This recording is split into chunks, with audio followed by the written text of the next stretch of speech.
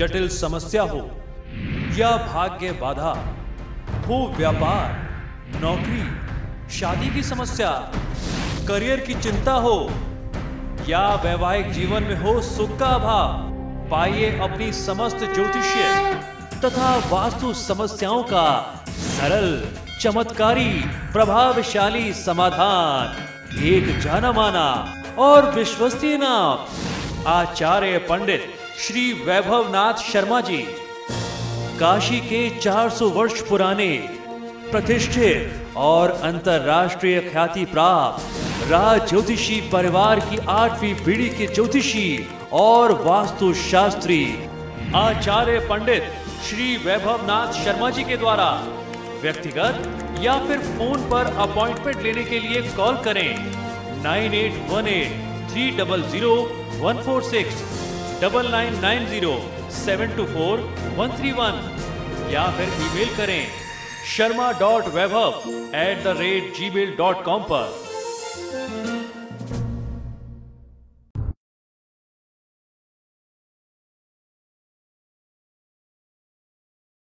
नमस्कार मित्रों, मैं हूँ वैभव नाथ शर्मा और आप देख रहे हैं मेरा यूट्यूब चैनल वैभवन।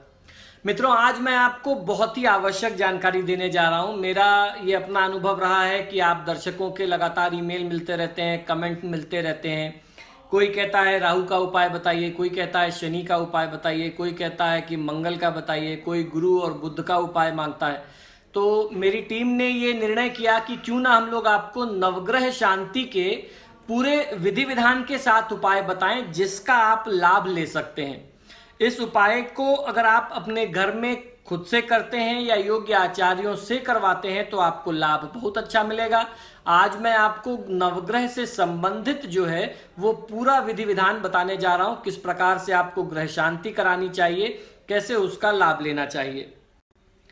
ज्योतिष के अनुसार हमारे अंतरिक्ष में फैले सौर्य मंडल के नौ ग्रहों का धरती पर स्थित सभी प्राणियों, यहाँ तक कि जल पेड़ पौधे पहाड़ इत्यादि, यानी पूरी प्रकृति पर प्रभाव पड़ता है। ज्योतिष शास्त्र में नौ ग्रह बताए गए हैं और सभी नौ ग्रहों का अलग अलग प्रभाव होता है। कुंडली में जिस ग्रह की स्थिति अशुभ होती है, उससे शुभ फल पाने के लिए कई प्रकार के उपाय प्रचलित हैं। इन्हीं उपायों में से एक उपाय है, अशुभ ग्रहों के मंत्र का जप किया जाए और ग्रहों के मंत्र का जप जो है, वो उसके अशुभ प्रभाव को दूर कर देता है। इसी तरीके से ज्योतिष गणना के अनुसार प्रत्येक जातक पर जन्म लग्न दशा, महादशा, अंतरदशा तथा प्रत्यंतर दशाओं का प्रभाव पड़ना निश्चित है। लग्न जन्म राशि तथा नाम राशि से चौथे, आठवें, बारहवें स्थान की स्थिति का प्रभाव सभी जातक पर पड़ता है। नवग्रहों के दुष्प्रभावों को शांत करने के लिए भी कई प्रकार के उपाय बताए गए हैं, जिनका विधि विधान से यदि पालन करें तो अवश्य ही लाभ मिलता है। तो आज हम लोग इसी प्रकार के लिए, इसी प्रकार से जानेंगे कौन से मंत्र इत्यादि का जाप किस ग्रह के लिए किया जाना चाहिए। तो जब ग्रहों के लिए मंत्र जाप की बात आती है तो मंत्र जाप की सही विधि क्या है यह भी समझ लेना आवश्यक है। जिस ग्रह के लिए मंत्र जाप करना चाहते हैं, उस ग्रह की विधिवत पूजा करें। पूजा में सभी आवश्यक सामग्रियाँ चढ़ाएँ। इसके लिए किसी भी ब्राह्मण की मदद भी ली जा सकती है। पूजा में संबंधित ग्रह के मंत्र का जाप आपको करना चाहिए। वैसे तो हर ग्रह के लिए मंत्र की एक अलग अपनी जप संख्या निश्चित है, लेकिन यदि आप उतना जाप नहीं कर पाते हैं तो कम से कम प्रतिदिन 108 बार उसका जाप अवश्य करें। जप के लिए रुद्राक्ष की माला का प्रयोग ही किया जाना चाहिए, किसी भी ग्रह के लिए ऐसा नहीं है कि अलग अलग ग्रह के लिए अलग अलग माला का प्रयोग करेंगे। तो हर ग्रह के लिए रुद्राक्ष की माला किसी भी प्रकार के जाप के लिए उपयुक्त मानी जाती है। सबसे श्रेष्ठ और उत्तम है, उसका प्रयोग करके ही आपको जाप करना चाहिए। अब बात आ जाती है शुक्र ग्रह की शांति की। तो अगर आपकी कुंडली में अशुभ शुक्र की स्थिति है तो ऐसे में आपको माता लक्ष्मी की पूजा आराधना करनी चाहिए। और माता लक्ष्मी की आराधना करने के लिए श्री सूक्त और कनक धारा से उचित और उपयुक्त चीज़ें और कुछ नहीं होती। और अगर आपको श्री सूक्त या कनक धारा स्त्रोत पढ़ने में दिक्कत आ रही है तो आप लक्ष्मी चालीसा का पाठ भी कर सकते हैं। ऐसे में आपको लक्ष्मी चालीसा, श्री सूक्त और कनक धारा का दैनिक पाठ करना चाहिए। श्वेत और स्वच्छ वस्त्र पहनने चाहिए। गौ की सेवा करें तथा गौशाला में गुड़, हरा चारा, चने की दाल, गायों को खिलाएँ। विशेष रूप से श्री विद्या यानी लक्ष्मी का पूजन करें। एकाक्षी ब्राह्मण को यानी जिसकी एक आँख खराब हो, जिसको आम बोलचाल की भाषा में बोलना तो नहीं चाहिए, काने ब्राह्मण को, एकाक्षी ब्राह्मण, जिसकी एक आँख ठीक हो और एक आँख खराब हो। शुक्र का स्वरूप ऐसा है शास्त्रों में जो वर्णन है शुक्र का, वो एक आँख से देखते हैं, एक आँख खराब है। तो ऐसे ब्राह्मण को आपको कांसे की कटोरी में खीर खिला करके, दक्षिणा दे करके उनसे आशीर्वाद प्राप्त करना चाहिए। विशेष परिस्थिति में अगर रोग हो तो मृत संजीवनी का जप कराएँ। ध्यान रखने योग्य बातें यह है कि अपनी पत्नी का, बहन का, बेटियों इत्यादियों का सम्मान करें, संयम से रहें और व्यसन करने से, किसी भी प्रकार की नशा इत्यादि करने से बचना चाहिए। शुक्र के दोष निवारण के लिए अगर आप वैदिक जाप करा करके शांति कराते हैं तो वो बहुत ही चमत्कारी लाभ देता है।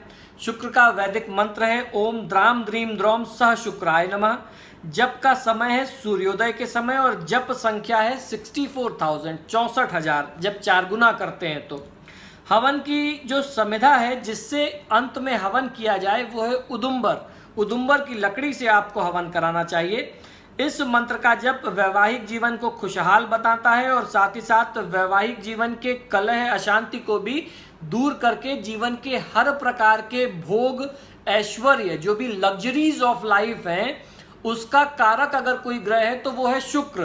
तो जीवन में अगर सुख, ऐश्वर्य और उपभोग चाहिए, बढ़िया घर, बढ़िया गाड़ी, बढ़िया खाना पीना अच्छा कपड़ा चाहिए तो लक्ष्मी जी की आरती में भी आता है कि आप ही से ये सब चीज़ें हो पाती हैं। तो लक्ष्मी इसकी कारक है। तो जब आप शुक्र का दोष निवारण करेंगे, शुक्र मज़बूत होगा तो जीवन के हर प्रकार के ऐश्वर्य और सुख आपको प्राप्त होंगे। शुक्र के दोष निवारण के लिए काली चीटियों को चीनी और आटा मिलाकर के खिलाना चाहिए। शुक्रवार के दिन सफ़ेद गाय को आटा खिलाना चाहें चाहिए। किसी काने व्यक्ति को अगर वो ब्राह्मण मिल जाए तो बहुत अच्छा है। सफ़ेद वस्त्र एवं सफ़ेद मिष्ठान का दान करना चाहिए। किसी महत्वपूर्ण कार्य पर जाते समय 10 वर्ष से कम आयु की कन्या का चरण स्पर्श करके आपको आशीर्वाद लेना चाहिए। अपने घर में सफ़ेद पत्थर लगवाएँ, किसी कन्या के विवाह में कन्यादान का अवसर मिले या कुछ आंशिक रूप से धन का, कुछ दान करने का, कुछ समर्थन करने का, सहयोग करने का अवसर मिले तो ज़रूर करना चाहिए। उससे बचना नहीं चाहिए, इस अवसर को स्वीकार करना चाहिए। शुक्रवार के दिन गाय के दूध से स्नान करना चाहिए। तो स्नान के जल में आधा ग्लास, आधा कप जो है, कच्चा दूध मिला लीजिए और उस पानी को अच्छे से मिक्स कर लीजिए, फिर उस जल से आप नहाइए। शुक्र के दुष्प्रभाव के निवारण के लिए किए जा रहे टोटकों हेतु शुक्रवार का दिन शुक्र देवता के नक्षत्र जो है भरणी, पूर्वा फाल्गुनी और पूर्वाषाढ़ा तथा शुक्र की होरा में यदि आप करें तो वो उपाय और टोटके ज़्यादा प्रभावी होते हैं, उनका चमत्कार ज़्यादा दिखता है। तो मित्रों, आशा करता हूँ कि ये उपाय आपको बहुत पसंद आए होंगे। आपके ग्रह के अनुसार जो भी मैंने मंत्र संख्या बताई है, वो शास्त्रों का एक मत है कि कलयुगम चतुर्गुणम प्रोक्तम। कलयुग में जब इन ग्रहों की शांति करते हैं तो जो मंत्र संख्या उस समय शास्त्र लिखते समय बताई गई थी तो उसका चार गुना करके जाप करना चाहिए। उसी हिसाब से मैंने आपको चार गुना की संख्या बताई, क्योंकि आप उसमें फिर कोई कंफ्यूज नहीं होंगे, किसी भी प्रकार का कोई कंफ्यूजन नहीं होगा। तो इसलिए मैंने आपको वो चार गुना मंत्र की संख्या बताई है।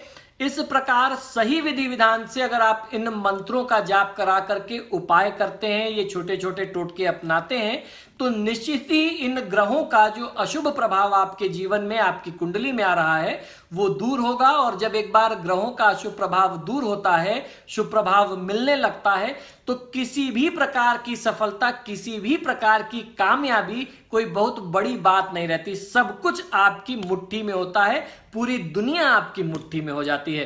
तो इसी शुभकामना के साथ कि ये उपाय आपको बहुत पसंद आएँगे, आपके जीवन में निश्चित ही चमत्कार दिखाएँगे। आप इन उपायों को करके लाभ लीजिए और मुझे आज्ञा दीजिए और जुड़े रहिए मेरे साथ मेरे यूट्यूब चैनल वैभव वन पर। नमस्कार।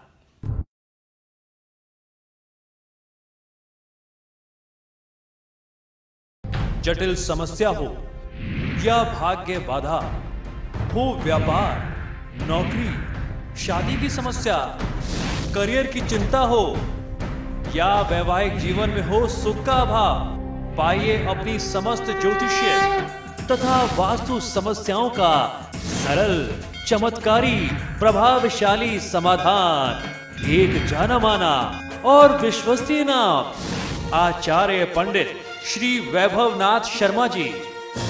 काशी के 400 वर्ष पुराने, प्रतिष्ठित और अंतरराष्ट्रीय ख्याति प्राप्त राज ज्योतिषी परिवार की आठवीं पीढ़ी के ज्योतिषी और वास्तु शास्त्री आचार्य पंडित श्री वैभव नाथ शर्मा जी के द्वारा व्यक्तिगत या फिर फ़ोन पर अपॉइंटमेंट लेने के लिए कॉल करें।